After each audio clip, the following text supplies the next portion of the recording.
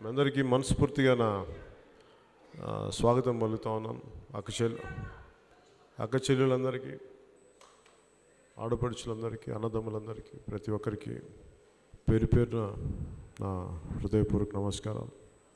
మీరు ఇంత అభిమానంతో బయట నలిగిపోతూ ఇబ్బంది పడ్డ మీరు వచ్చారంటే నాకు నిజంగా ప్రతిసారి కలవాలని ఉంటుంది కలుసుకోవాలని ఉంటుంది కానీ పరిస్థితులు ఒకసారి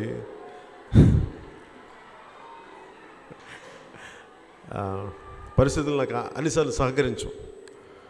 మీరు బయటికి తీసుకెళ్ళాల్సిన మెసేజ్ కూడా ఏంటంటే నేను వెళ్తాను అందరినీ కలుసుకుంటాను. కాకపోతే అందరినీ ఒకేసారి కలవడానికి మనకి స్థలం కావచ్చు లేదంటే మిగతా పరిస్థితులు కావచ్చు. నేను ప్రతి నియోజకవర్గంలో ప్రతి జిల్లాలో ఎక్కువ రోజులు ఉండడానికి ఎందుకు నిర్ణయించుకున్నానంటే నేను ఎక్కువ మందిని కలవడానికి అర్థం చేసుకోవడానికి. కానీ పవన్ కళ్యాణ్ అనే వ్యక్తి ఎక్కడో ఒంటి స్తంభం మేడలో కూర్చున్న వ్యక్తి కాదు. నేలపైన తిరిగే వ్యక్తి. నేల కష్టాన్ని అర్థం చేసుకునే వ్యక్తి. మీరు నా గుండెలో ఉంటారు కాబట్టి నేను అని ఎందుకు ఎందుకు? నాకు ఇంత ఇష్టం. ప్రజలు అనే పదం కూడా నాకు చాలా ఇంపర్సనల్గా ఉంటుంది. నా వాళ్ళు అనిపిస్తాయి మన వాళ్ళు అనిపిస్తాయి ఎందుకు అనిపిస్తుంటే మనకి మానవ పుట్టుక ఒకే ఒకసారి జరుగుతుంది. మళ్ళీ జరుగుతుందో లేదో తెలియదు చాలా యాక్సిడెంట్ లేదు మనిషిగా పుట్టడం. అలాంటిది ఇన్ని సమస్యలు ఇన్నిటిని మన భారతదేశ సంప్రద సాంప్రదాయంలోనే వసుదైక కుటుంబం అంటాం. మనుషులంతా ఒకటి మనది కుటుంబం అంతా మంది. నాకు దాన్ని నమ్ముతాను నేను. చిన్నప్పుడు దాంట్లో పెరిగాను నేను. ఇప్పటికి అదే నమ్ముతాను. అందుకని నాకు సాటి మనిషి మీద సాటి సాటి వారి మీద నాకు చాలా ప్రేమ. అందుకనే నిన్న కూడా ఇది చెప్తా ఉంటే సినిమాల గురించి ఏదో మాట్లాడితే సినిమాల్లో కూడా నా అక్క చెల్లెలతో కలిసి సినిమాలు చూడాలని కోరుకునేవాడిని మా అమ్మతో వెళ్తే ఇబ్బంది లేని సినిమాలు. నేను అలాంటి సినిమాలు చేశాను దాదాపు. ఒకటి రెండు సందర్భాలు నాకు ఇష్టం లేనివి కూడా చేయాల్సి వచ్చినప్పుడు నడుచుకొని వెళ్ళిపోయేవాడిని కొన్ని పరిస్థితుల్లో. సో అలాంటిది రాజకీయ వ్యవస్థకు వచ్చినప్పుడు రాజకీయ పొలిటికల్ పార్టీ పెట్టడం చాలా కష్టమైన పని. కొన్ని ఒక పాతి కోట్లు ట్యాక్స్ కట్టగలం. అంటే ప్రతి వంద రూపాయలకి ముప్పై ముప్పై ఐదు రూపాయలు ట్యాక్స్ కట్టాలి మనకి. నలభై దాదాపు ఫార్టీ పర్సెంట్. అలాంటిది నేను ఒక ట్యాక్సే పాతి కోట్లు కట్టానంటే నేను ఎంత సంపాదించగలను? మీరు అర్థం చేసుకోండి. కానీ ఎందుకు నేను ఇవన్నీ దాటి వదిలిచ్చానంటే నాకు విసుగుంది కేవలం డబ్బులు అధికారం అభివృద్ధి కొందరికి అధికారం కొందరికి దానివల్ల వచ్చిన అసమానతలు నాకు చాలా ఇబ్బంది కలిగించినాయి. సినిమాల్లో ఒక సమస్యకి కొడుతురు గారు ఉండండి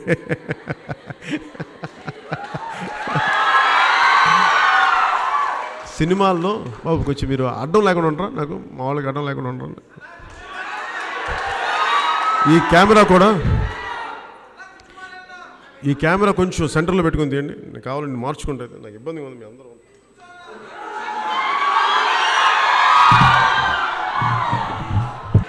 నాకు సుఖం ఇష్టం లేదు నొప్పి కావాలి నాకు బాధ కావాలి నొప్పి రావాలి. చాలామంది అంటారు పాలిటిక్స్లో ఉన్నప్పుడు మనం అనవసరంగా తిడతారు అనవసరంగా అంటారంటే ఒకటి భరించాలి బాధ. రాజకీయాల్లోకి వచ్చినప్పుడు పది పాతిక సంవత్సరాలను ఎందుకు చెప్పాను ట్వంటీ ఫైవ్ ఇయర్స్ అంటే ఏదో అనాలోచితంగానో తెలివి తక్కువగా చెప్పలా. ఒక తరాన్ని ప్రసవింప చేయడానికి ఒక మార్పును తీసుకురావడానికి పాతిక సంవత్సరాలు పడతాయి. భరించాలి ఒకడు తిట్లు తినాలి ఒకడు. అందరి దగ్గర భరించాలి. ఎందుకంటే మీరు ఒకటే గుర్తుపెట్టు ఇంతమంది కలిసి జగన్మోహన్ రెడ్డి దగ్గర నుంచి భారతీయ జనతా పార్టీ దగ్గర నుంచి కా మన తెలుగుదేశం దగ్గర నుంచి మిగతా ఎవరు నన్ను తిట్టినా ఒక వ్యక్తిని ఎందుకు తిట్టాలి మీరు అందరూ ఆలోచించాలి. వాడు ఏం ద్రోహం చేశాడు? వాడేం ద్రోహం చేయలేదు కాబట్టి వాడు మార్పు తీసుకొస్తారు కాబట్టి ఇంతమంది కలిసి తిడుతున్నారు.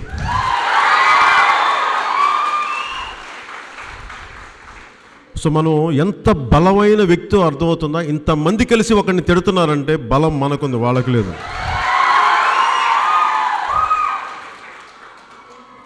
నేను పాలిటిక్స్ని చాలా సాంప్రదాయంగా చాలా మర్యాదపూర్వకంగా చేస్తాను. వాళ్ళు ఎవరికి అర్థం కాని విషయం కూడా ఏంటంటే నాకు వీళ్ళలాంటి భాష ఉంది వీళ్ళలాంటి వీళ్ళు ఏ స్థాయికి వెళ్ళగలరో నేను కొంత విలువలతో కూడిన రాజకీయం చేయాలని వచ్చాను. రాజకీయ వ్యవస్థ విలువలతో కూడింది. రాజ్యాంగం రాసింది జగన్మోహన్ రెడ్డి లాంటి వాళ్ళు రాజ్యాంగం రాయలేరు. అంబేద్కర్ బాబాసాహెబ్ అంబేద్కర్ లాంటి గొప్ప మహానుభావులే అంబేద్కర్ రాజ్యాంగం రాయగలరు. ముఖ్యమంత్రి చంద్రబాబు గారు రాజ్యాంగం రాయలేరు. అంబేద్కర్ మహాశైలి రాయాలి. అలాంటి గొప్పవాళ్ళు పాలు పాలాభిషేకం చేసిన ఎవరికి చేసినా గొప్ప మహానుభావులు చేస్తాం. అంత గొప్ప వ్యక్తులు. అంతే వీళ్ళందరికీ ఎలా ఉంటుందంటే రాజ్యాంగం స్ఫూర్తి కేవలం పేరుకే కానీ వీళ్ళు చేసే దిగజారుడు వ్యవహారం కానీ దిగజారుడు పాలిటిక్స్ కానీ ఇలా తిట్టేస్తే భయపడతామని అనుకుంటారు. వాళ్ళకి అర్థం కాదు ఏంటంటే పవన్ కళ్యాణ్ అనే వ్యక్తి చూడటానికి మెత్త కనిపిస్తాడు. దగ్గరికి వస్తే తోలు తీసేస్తాను పిచ్చి పిచ్చి వేషాలు పాలిట్ పాలిటిక్స్లో కావాల్సింది చాలా గట్టి మనస్తత్వం కావాలి బలమైన సంకల్పం. దోచే మీకే ఇసుక మాఫియాలు చేసే మీకే స్కాములు చేసే మీకే అంత బలం ఉన్నప్పుడు అంత మీకు అహంకారం మీరు ఆధిపత్య పోరు మీరు చూస్తుంటే ఏమీ చెయ్యని నాకు ప్రజా సంక్షేమం కోసం నిలబడే మాకు ఎంత తెగింపు ఉండదు వీళ్ళు ఆలోచించుకోగలరా?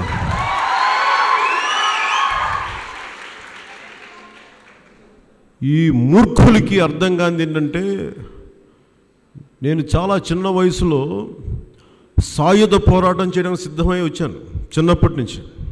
వీళ్ళకి నేను సినిమా యాక్టర్గా కనిపించవచ్చు సినిమాల్లో డాన్స్లు వేసాను సినిమాలో డైలాగులు చెప్పాను అని అనుకుంటున్నారు వాళ్ళందరూ. బయటికి వస్తే రండి చూపిస్తాను నేనేంటో మీకు. కానీ నిజంగా నేను వ్యక్తిగత విమర్శలే చేయాలని చాలా బలంగా చేస్తాను. నేను ఎందుకు అన్ని తెగించినండి రోజు ఇంట్లోంచి బయటకు వచ్చినప్పుడు ఒంటి మీద బట్టలు వేసుకొని వస్తాను. తిరిగి వెళ్ళడం ఇంతే. వెనకాల వేల కోట్లు లేవు. చాలా మామూలు కుటుంబం నుంచి వచ్చాను. ఇదే మొగల్తూరులో ఓకే లేదు. నాకు రెండే రెండు సందర్భాల్లో గోదావరి జిల్లా గుర్తుండిపోయింది. ఒకే ఒకసారి రెండు సార్లు రెండు సార్లు వచ్చినట్టున్నాను. ఒకసారి నేను తప్పిపోయాను నర్సుపూర్లో. ఎందుకంటే మా నాన్న పెట్టి ఆఫీసర్గా ఉన్నారు హెడ్ కానిస్టేబుల్ ప్రమోషన్ అయిందంటే అప్పుడు తీసుకొచ్చి ఇక్కడ తీసుకొస్తే నేను ఈ నర్సుపురం బస్ స్టాండ్ దగ్గర కాలువ దగ్గర వంతిన దగ్గర ఎక్కడో మిస్ అయిపోయింది. అది నాకు గుర్తుంది ఇంకా చాలా వేగం గుర్తుంది. అక్కడ మాకు ఒక చిన్న పొలం ఉండేది రెండున్నర ఎకరం అంత ఉండేది. ఏదో రెండు ఎకరాలు ఇరవై సెంట్లు అయితే ఒక అన్ని సెంట్లు. అది ఎలాగ మేము మా నాన్న వాళ్ళు అమ్మేసుకుంటూ వచ్చారో నాకు తెలుసు. మా పిన్ని పెళ్ళికని ఇంకొక సమస్యలు కానీ ఇట్లాగా భూమి కొద్ది కొద్ది కొద్దిగా అమ్ముకుంటా కష్టాలు తెలుసు నాకు. నేను చూశాను. మేము నేను చిన్నవాడిని నాకు తెలియదు ఏమో అనుకునేవాళ్ళేమో అనుకునే వాళ్ళేమో కానీ నేను వినేవాడిని చూసేవాడిని.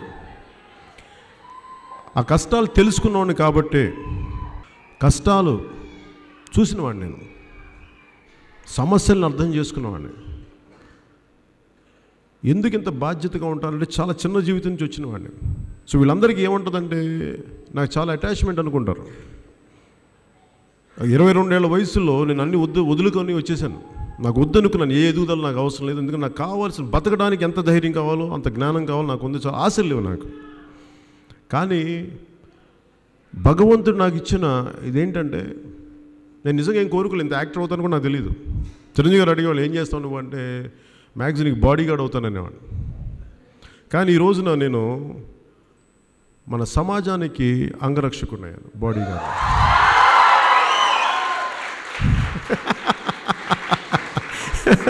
నీకు అర్థమైందమ్మా నీ మాట? తను కూడా ఇలా అంటుంటే. జనసేన సమాజానికి రక్షణ ఇస్తుంది. అందుకు సేనాన్ని పెట్టాను. గుండాలు ఫ్యాక్షనిస్టులు ఇష్టం వచ్చినట్టు నోటికి వచ్చినట్టు పేలితే సైనికుడు చాలా బలంగా సమాధానం చెప్పగలరు ఊపిరి తిరుక్కోకుండా ఎదురు దాడి చేయగలరు. ఉప్పి ఏమంటుంది? ఉప్పెనలాగా దాడి చేయగలరు. ఉప్పెనలాగా. అలాంటి పోరాటమే కావాలంటే నేను చాలా సిద్ధం.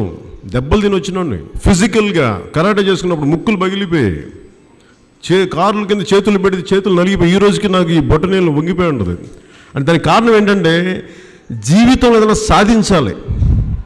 దెబ్బలు తింటే వచ్చేస్తావు శక్తి అనుకున్నాను నాకు అర్థం ఏంటంటే సహనంతో సహనం వల్ల శక్తి వస్తుంది అని భరించడం వల్ల శక్తి వస్తుంది తప్ప దెబ్బ తింటే వల్ల కాదు. నాకు అర్థం చేసుకోవడం కరాటే చేసుకోవాల్సి వచ్చింది నాకు. అలాంటిది ఇన్ని దోపిడీలు చేసే వీళ్ళకే ఇంత పిచ్చి పిచ్చిగా మాట్లాడే తెగింపు ఉంటే ఏమి చేయని మనకి ఎంత తెగింపు ఉంటుంది? ఊహించుకోగలరా వాళ్ళు? ఒకసారి మీరు బయటకు వచ్చి చూపించండి. అప్పుడు నిజంగా నేను పార్లమెంటరీ వ్యవస్థకి గౌరవం ఇచ్చే మాట్లాడతాను. రాజ్యాంగబద్ధంగా సమా సమాజానికి సంబంధించి అన్ని లైన్స్లో మాట్లాడతా. స్థాయి దాటితే నేను కూడా అంతే తెగింపు చూపగలను. అంతే. మీరు ఊహించినంత. మీరు తట్టుకోలేనంత. మీరు పారిపోయేంత. అంత జాగ్రత్త. అందుకనే నేను రెండు వేల పద్నాలుగు ఎలక్షన్స్ ఎవరి గురించి మాట్లాడినా పబ్లిక్ పాలసీ గురించి మాట్లాడతాను. దేనికి వస్తున్నావు? ఇది మాట్లాడతాం నువ్వు వ్యక్తిగతంగా మాట్లాడాలి అంటే నేను చాలా మాట్లాడాను. కానీ దానివల్ల సమస్యలు పరిష్కారం అవుతాయంటే ఖచ్చితంగా మాట్లాడతా. అలాగే నేను మీ నుంచి కూడా కోరుకునేది ఆడపడుచుల నుంచి కానీ అక్క చెల్లెల నుంచి కానీ ప్రతి చోట జన సైనికులు అనగానే మీ వాళ్ళండి. నాకు సలహాలు చెప్తారు మీ వాళ్ళండి బైక్లు వేసుకొచ్చి సైలెన్సర్లు పీకేసి బాగా రైజ్ చేస్తుంటారు బాగా ఇరిటేటింగ్ ఉంటుందండి మాకంటే. ఒకేసారి నా పక్కన కూడా తిరుగుతాడు. నా భయం ఏంటంటే మీరు బైకులు రేస్ చేస్తే మీకు దెబ్బలు తగులుతాయి భయ పడిపోతారు. వాళ్ళు కావాలని ఏం చేస్తారంటే ఈ గో మీ మీ చుట్టుపక్కల తిరిగే కు- కుర్రాళ్ళు ఇలా చేసేస్తారని అంటారు. నేనేమన్నానంటే మా వాళ్ళు ఏం చేస్తారు చెప్పండి మహా అయితే సైలెన్సర్ తీసి రైస్ చేస్తారు. వాళ్ళు మహా చేస్తే వాళ్ళు సౌండ్ పొల్యూషన్ క్రియేట్ చేస్తారు. మరి మీలాగా ఇసుక మాఫియా దోపిడీలు చేయట్లా?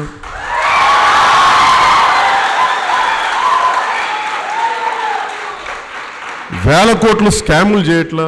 జైలుకి వెళ్ళి కూర్చొని మా వాళ్ళు మ్యాక్సిమం బైక్ సౌండ్ తీసేసి ఇలా రైస్ చేస్తారు. నేను అంటాను దేనికి రైస్ చేస్తారో చెప్తాను ఒకసారి. మీరు యువతకి మీరేమిచ్చారు ఆ యువతకి ఎందుకు బైక్ రేస్ చేస్తుందంటే నేను అందరిలో అలా చూడను. ఇరిటేషన్గా చూడను. వాళ్ళ ఎనర్జీ అది వాళ్ళ శక్తి. వాళ్ళ శక్తిని డైవర్ట్ చేయడానికి అవకాశాలు లేవు.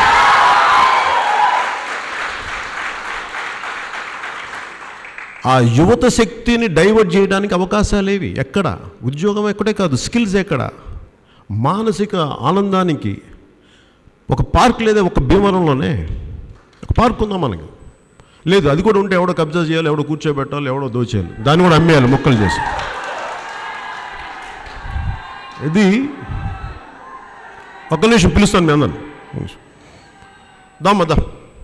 నువ్వు ఇట్రా దా ఇట్రా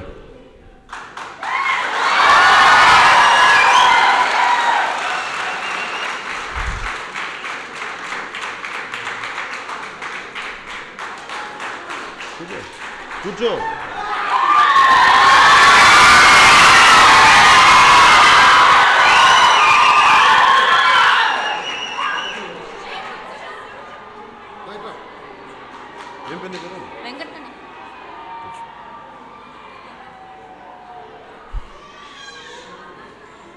సమస్య ఎక్కడ వస్తుంటే పాలిటిక్స్లో మానవత్వం చచ్చిపోయింది.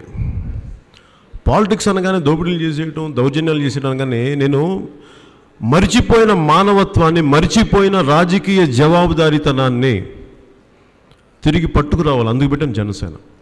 వీళ్ళందరికీ ఏమనుకుంటారంటే సగటు మధ్యతరగతి వాళ్ళు భయపడతారు రాజకీయాలంటే. దీనికి వేల కోట్లు ఉండాలి గుండాలు ఉండాలి. నాకు అనిపించింది ఏంటంటే తెగించే గుణం కావాలి ఫస్ట్ అన్నిటికీ. ఒక ఒక ఆశయం కోసం తెగించే గుణం కావాలి. జనసేన అలాంటి ఆశయం కోసం నన్ను నేను సిద్ధపెట్టుకున్నాను. అందరూ చాలామంది అనుకుంటారు నీకేం ప్రిపరేషన్ అని. ఒక పదిహేను ఇరవై సంవత్సరాలు అసలు రాజకీయాలకు పనికొస్తానా? నాకు అంత కెపాసిటీ ఉందా? నాకు అంత సామర్థ సమర్థత ఉందా? సినిమాలోకి వచ్చినప్పుడు నీకు లక్షలాది మంది జేజేలు కొడుతున్నప్పుడు నువ్వు ఉప్పొంగిపోకుండా నీకు తగ్గే గుణం ఉందా? నేను చాలామందికి పెద్దల కాళ్ళకి నమస్కారం పెడుతున్నప్పుడు ఒకళ్ళు ఈ మధ్యన ఎవరో ఉన్నారు మేము నీ కాళ్ళకి నమస్కారం పెట్టి వాళ్ళకి నమస్కారం పెడతాం ఏంటంటే వాళ్ళు విఘ్నులు జ్ఞానులు పెద్దవారు. ఒక జీవితాన్ని ఒక కేవలం కూలి పనే చేశాడు అనుకుందాం. ఒక డెబ్బై ఏళ్ళు వృద్ధుడు ఒక ఆయన. ఏమీ గొప్ప పనులు చేయక్కర్లా. జీవితాన్ని బతికాడు. జీవిత పోరాటం చేసి డెబ్బై ఎనభై ఏళ్ళకి రావడానికి దానికి నేను వాళ్ళకి అనుభవానికి నమస్కారం పెడతాను నేను. దానికి నమస్కారం పెడతాను. మనలో ఉన్నది ప్రతిదీ గాడ్ పార్టికల్ అంటాం. భగవంతుడి అణు పార్టికల్ అందుకని మనలో ఉండే పంచభూతాల తత్వానికి నేను దండం పెడతాను. వారు ఎలాంటి వాళ్ళైనా కానీ మీకు అనిపించచ్చు తెలియదు కానీ అందరికీ అనిపిస్తుంది. నాకు ప్రతి మనిషి ఒక గాడ్ పార్టికల్ అని అందుకు దండం పెడతాను చాలామందికి తగ్గి తగ్గడం అంటే నా ఉద్దేశం ఏంటంటే గౌరవించడం ఒకసారి చాలామందికి అహంకారం పెరిగిపోద్ది. ఉదాహరణకి నేను సుస్వాగతం సినిమా షూటింగ్ చేస్తుంటే ఫంక్షన్ అది జరిగింది. కర్నూలులో ఇక్కడ. వెళ్తే నాకేమనిపించిందంటే చాలామంది సార్ మీరు వస్తే ఊరేగింపు చేస్తామన్నారు. నేను అన్నాను పెద్ద హీరోలకు ఊరేగింపుడు కానీ నాకేముండదు ఊరేగింపు నేను నా వెటకారం చేయడానికి చేస్తారేమో అనుకున్నాను. అంటే ఈయన నన్నే దిష్టి బొమ్మలా తీసేసి వీడే పవన్ కళ్యాణ్ అని అంటే నా భయం వేసి నాకు చాలా సిగ్గు చిన్నప్పటి నుంచి. బయటికి రాలేను. మా ఇంట్లో బంధువులు వచ్చినా ఎవరైనా వచ్చినా ఇంట్లో నా మూల కూర్చునేవాడిని. అలాంటి నేను యాక్టర్ అయిన తర్వాత పబ్లిక్ రోడ్లో డ్యాన్సులు చేయాలంటే అసలు దీని బదులు భూమి విచ్చుకుపోయి లోపలికి వెళ్ళిపోతే బెటర్ అనిపించేది నాకు. అండ్ నాకు అంత ఇబ్బంది. కానీ తట్టుకొని నిలబడాను నాకు ఇష్టం లేని నేను కోరుకుని సినిమా నాకు ఇంత ఇంత ఇచ్చిందంటే నేను అనుకుని దీనికి ఏదో కారణం ఉండాలనుకున్నాను. ఆ కారణం సమాజం కోసం తిరిగి పనిచేయడం అందుకే నాకు ఇంత పేరు ఇచ్చింది అనిపిస్తుంది. నేను చేసిన చాలా తక్కువ సినిమాలు. నా సినిమా హిట్స్ కూడా చాలా తక్కువ ఉన్నాయి. కాకపోతే మీరు ఇచ్చిన ప్రేమ చాలా బలమైన ప్రేమ. అందుకు ఎందుకు చెప్తున్నానంటే ఇవన్నీ నేను చాలా కమిట్మెంట్తో వచ్చాను పాలిటిక్స్కి చాలా చాలా చిత్తశుద్ధితో వచ్చాను. మీ అందరి గురించి కూడా నేను కోరుకునేది ఈ బైక్స్ గురించి వీళ్ళ గురించి మాట్లాడుతున్నప్పుడు అంటే ఇందాక వీరవాసరం మండలం గురించి ఎవరో వస్తుంటే నేను కూడా మాట్లాడుతున్న బైక్స్ గురించి ప్రతిసారి ఎక్కడికి వెళ్ళినా ఈ బైక్స్లో ఇరిటేట్ చేస్తారు సౌండ్ అంటే కరెక్టే. కొంచెం ఇబ్బంది ఉంటుంది. వాళ్ళ ఉత్సాహాన్ని మనం కాదనద్దు. ఎవరికైనా మనిషిని ఇంగ్లీష్లో సామెత ఉంటుంది we govern people by words అని. మాటలతోటి ప్రతి ఒక్కరిని సముదాయించవచ్చు చెప్పచ్చు మార్చచ్చు. ప్రతి ఒక్కరిని మార్చచ్చు. నేనేం నమ్ముతానంటే ఇంతమంది వీళ్ళలాగా వేల కోట్లు చేసేవాళ్ళు లేరు దోపిడీలు చేసేవాళ్ళు లేరు. మ్యాక్సిమం మహా అయితే బైక్ సౌండ్ చేస్తారు. అది కరెక్ట్ చేసుకుందాం. చాలా చిన్న మాట అది. మీరు అవి కరెక్ట్ చేసుకోండి. మీరు హత్యలు చేసి దాన్ని మీరు మాఫీలు చేసుకుంటా ఉన్నారు. దోపిడీలు చేసి రక్తాలు చిందించేసి మీరు మాఫీ చేసుకున్నారు. దోచేసి మాఫీ చేసుకున్నారు. ముందు మీరు అది మాఫీ చేసుకోండి. ఫస్ట్ సమాజానికి అత్యంత ప్రమాదకరమైన అవి. అవి కరెక్ట్ చేసుకోండి. మా బైకులు మా జన సైనికుల ఇబ్బందులు ఇవన్నీ కరెక్ట్ చేసుకుంటాం. చాలా చిన్న విషయాలు కంపేర్ చేస్తే. అలాగే ఇంకొక మీకు డిసిప్లిన్ మనకు హండ్రెడ్ పర్సెంట్ వాళ్ళు అన్నది ఒకటి మనం తీసుకోవాల్సింది ఏంటంటే డిసిప్లిన్ ఒకటి మనకు కావాలి. ఎంత గొప్ప గుణం ఉందంటే మన ఒక ఇది ఒక బైక్ని చేయటం ఒక గుణం అయితే నేను వాళ్ళకి నేను చెప్పాను. మీరు జన సైనికుల్లో బైక్స్ చేయటం అనేది ఒక ఇరిటేషన్ మీకు ఉంటే మా వాళ్ళ సంస్కారం మీకు చెప్తాను. నిన్న ఆడపిల్లలు చెప్తా ఉన్నారు. అంత అంతమంది గుమిగూడిన చోట ఇక్కడ కానీ విజయనగరం కానీ ఎక్కడ కానీ కిక్కిరిసిపోయిన చోట ఆడపడుచులు అక్క చెల్లెళ్ళు వస్తుంటే దారి సముద్రం చీలినట్టు చీలి మీరు వెళ్ళండి అమ్మా ఆ సంస్కారం ఎక్కడి నుంచి వస్తుంది?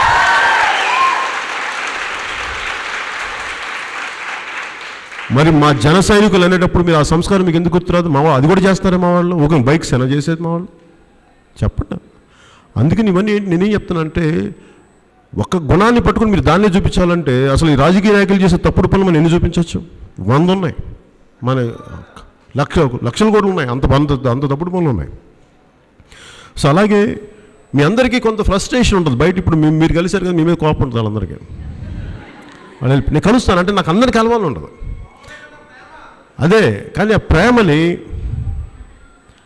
మీరు చెప్పిన ప్రేమని పగడ్బందీగా ఒక కన్స్ట్రక్టివ్గా లేకపోతే విధ్వంసం అయిపోద్ది. నన్ను ఎవరిని కలవలేదు అనుకోండి వెళ్ళి ఫ్లెక్సీలు ఇంచేశారు ఫ్లెక్సీలు ఇంచేస్తే ఏమైపోద్ది?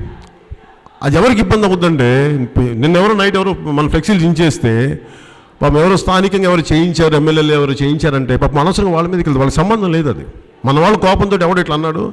అది తప్పు సంకేతాలు ఇస్తుంది. అందుకని జాగ్రత్తగా బాధ్యతగా మనం ఏ పని చేసినా సమాజానికి ఇబ్బంది కలిగించే పని చేయదు. నిజంగా మీకు పోరాటం చేయాలంటే నేను ఇస్తాను మీకు. హక్కుల కోసం పోరాటం మీకు అప్పుడు ఇస్తాను.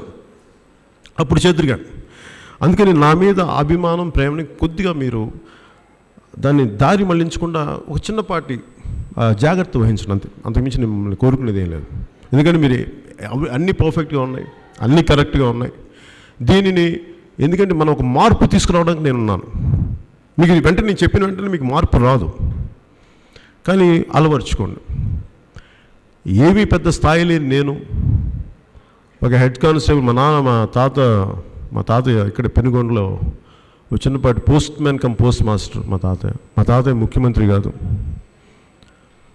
మా నాన్న ఒక చిన్న కానిస్టేబుల్ నుంచి ఒక పెరిగి ఒక ఎదిగిన వ్యక్తి. నా స్థాయికి నేను ఇంత చేయగలిగినప్పుడు మీరు ఇంత చదువుకున్నారు లేదంటే మీకు ఇంత విఘ్నత ఉంది మీకు ఇంత జ్ఞానం ఉంది. మీరు ఇంకే స్థాయికి వెళ్ళగలరా? మీరు ఊహించుకోగలరా? దానికి కావాల్సిన చాలా బలమైన క్రమశిక్షణ కావాలి. సహనం కావాలి. అది మీరు అలవర్చుకుంటారని. ఎందుకంటే నేను చాలా పెద్ద ఆశయంతో చేస్తున్నాను. సో ముగింపు మాటలుగా నేను ఏం మాట్లాడుతున్నా అంటే పాతిక సంవత్సరాల మాట ఎందుకు మాట్లాడుతానంటే ఒక తరాన్ని ప్రసవింపజేయడానికి ఒక మార్పుని తీసుకురావడానికి ఒక పాతిక సంవత్సరాలు పడుతుంది కేవలం పదం ఒకటే కాదు. ఒక ఐదు సంవత్సరాలు ప్లాన్ చేసుకుని సరిగ్గా చేస్తే వెళ్ళి ముఖ్యమంత్రి స్థానంలో కూర్చోవచ్చు. కానీ దానివల్ల మార్పులు కేవలం దానివల్లే రావు. సమూలంగా మార్పులు రావాలి అంటే ఒక పాతిక సంవత్సరాల ప్లాన్ ఉండాలి. సహనం ఉండాలి. ఒక ఇరవై రెండు సంవత్సరాల క్రితం ఒక క్రికెటర్ ఇమ్రాన్ ఖాన్ పాలిటిక్స్లోకి వచ్చి సమ్ తెహరిక్ అనేది పార్టీ పెట్టినప్పుడు అందరూ అతను వెటకారం చేశారు. ఏం చేయగలడని. అతని మీద అనేక రకమైన దాడులు మానసిక దాడులు అనేక అభియోగాలు అన్నీ పెడితే ఈ రోజున పాకిస్తాన్లో గెలవబోతుంది ఇమ్- ఇమ్రాన్ ఖాన్. అంటే అంత సహనం కావాలి పొలిటికల్ పార్టీ ఒక దేశానికి అంత కావాలి. అలాంటిది వాళ్ళందరూ ఒకటే మతం దాదాపు. మనకి ఇన్ని భిన్న మతాలు భిన్న కులాలు ఇన్ని ప్రాంతాల కలయిక ఇన్ని క్లాసెస్ డబ్బున వాళ్ళు ఎక్కువ డబ్బు లేని వాళ్ళు చాలా చాలా చాలా ఎక్కువ మంది ఉంటారు. ఇంతమందిని బ్యాలెన్స్ చేయాలంటే చాలా బలమైన ఆలోచన వ్యవహారం కావాలి. అందుకే జనసేన ఎందుకు నేను ఇంత సహనంతో ఉండాలంటే ఇంతమందిని ఏకతాటిపైన ఒక ఆలోచన దా ఆలోచనతో కూడా దారి మీద నడిపించడానికి చాలా సమయం పడుతుంది. అందుకని మీ అందరి సహనం కావాలి మీ అందరి సహకారం కావాలి మనస్ఫూర్తిగా కోరుకుంటూ నెక్స్ట్ మీటింగ్కి నేను వాళ్ళని పిలవడానికి మీ అందరూ నాకు ప్రేమనివ్వాల్సిందిగా కోరుకుంటూ సెలవు తీసుకున్నాను. జై హింద్.